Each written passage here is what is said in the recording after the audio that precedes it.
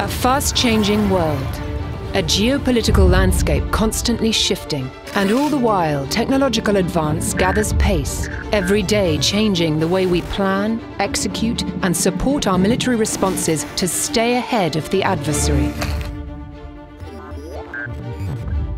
Well, after all of my time involved in defence and security, I have to say that I don't think I've ever seen our world quite as unstable and as risky as it is today. So I think at the moment, the United Kingdom and indeed many of our allies are in a position where we hold a competitive edge over our adversaries, both real and potential. It's not the technology itself that we should be particularly worried about. It's our ability to be able to adopt it and integrate it at a pace that is relevant. Because if we don't, and without uh, needing to cater with authorities that don't have democratic norms and rules to guide their actions, we will probably lose that competitive edge. And that, to me, would be a disaster.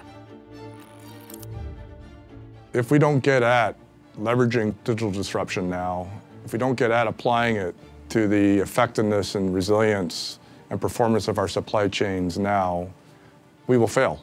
We'll fail in serving our men and women in uniform who are forward deployed today.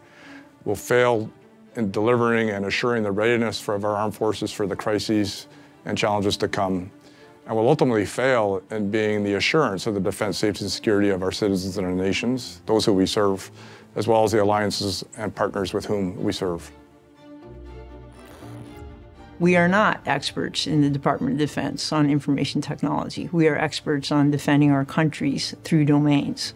But we recognize that layer of information technology, advanced technology today, can help us operate at a speed that is really going to be game changing for the security of our people and security of our nation. So it needs to be a partnership.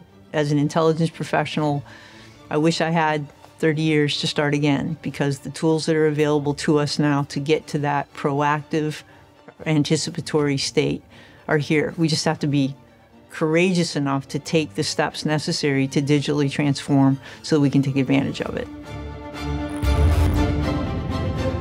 A partner who was always innovating, accelerating, and driving technological disruption in every part of the supply chain at speed and at scale.